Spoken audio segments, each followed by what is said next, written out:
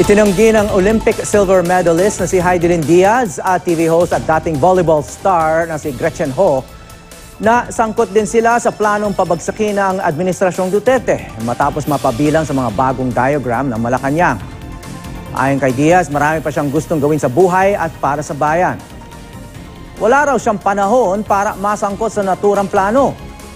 Sabi naman ni Gretchen Ho, hindi niya kilala si alias Bicoy ni hindi nga raw niya napanood o na-share ang mga video nito. Wala rin daw siyang ah, ideya kung sino si Rodel Jaime. Bago ilabas ang mga diagram, dumalo pa si Ho sa pribadong hapunan sa Malacanang kasama ang Pangulo at ibang personalidad.